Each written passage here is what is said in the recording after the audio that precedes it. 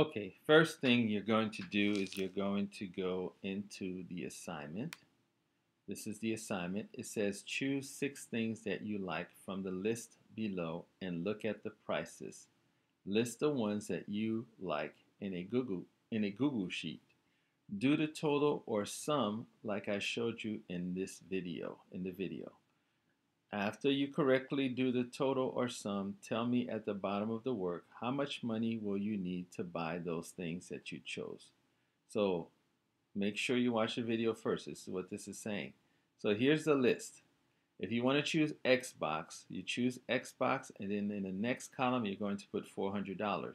If you want to choose bicycle, you choose that and you put $150. If you want to choose puzzles, you put that and you write $40 marbles, $20. So you choose six things. So I'm going to choose uh, Xbox for 400. I'm going to choose bicycle for 150. I'm going to choose balloons because I like balloons.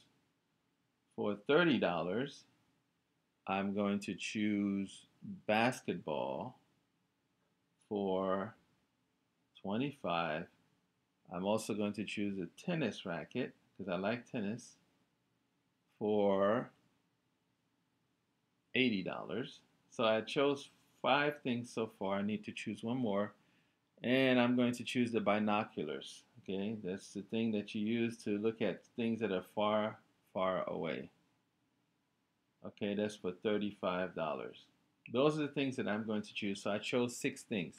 So I'm going to show you what you're going to do to go to Google Sheets. You go here, view assignment. You're going to go here and you're going to choose Google Sheets. Right here is Google Sheets. Don't choose Google Docs. You're choosing Google Sheets this time. All right.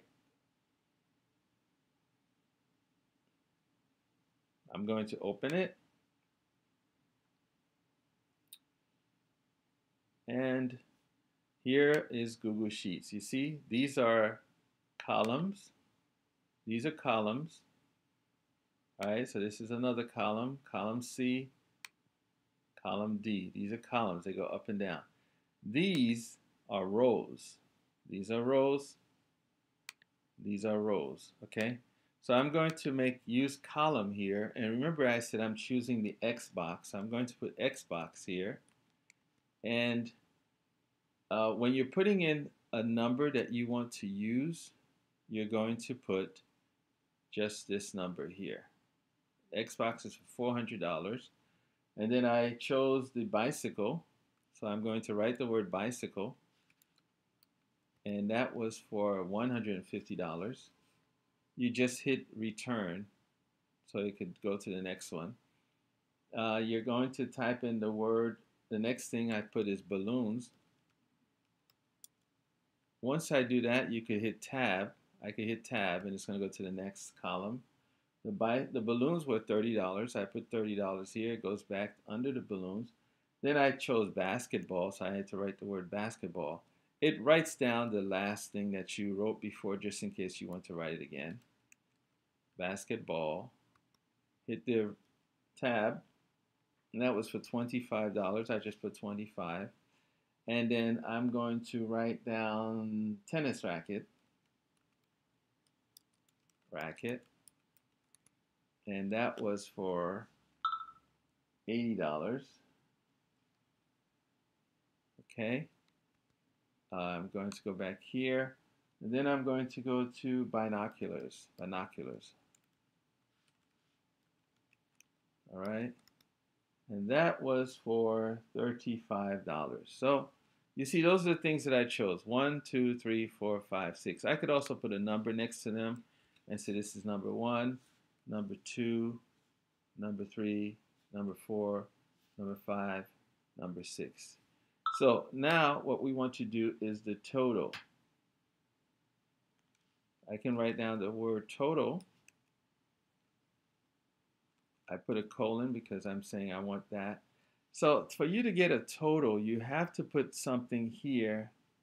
You have to put information here to tell the computer I want to do the total. You can do the total this way, where you go here, this is what they call functions, and I could do sum. Sum is the same thing as total or addition. So I could do sum. Once I do sum, it's saying, what do you want to sum? So I can go,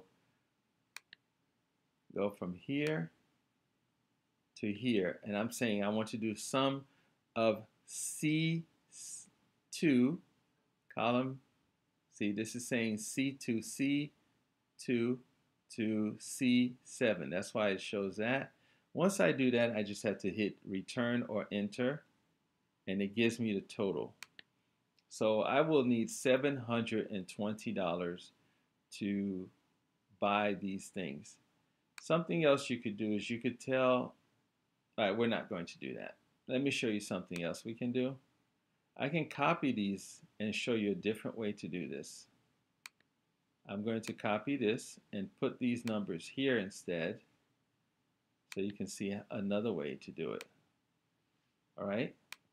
So the same numbers, you could do something like this, equal sum, and then put this. Once you do that, it starts to highlight what you want to sum, and then you hit return, and you get the same number. So you could use this, and you say sum, or you could just do it the way I showed you here.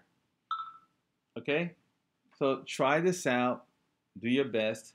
So at the end, when you're done, you can say, I will need $720 to buy what I like. That's what you would do. Hit enter, and you're done with the assignment. Do your best, and uh, if you have any questions, just write it in the comment section.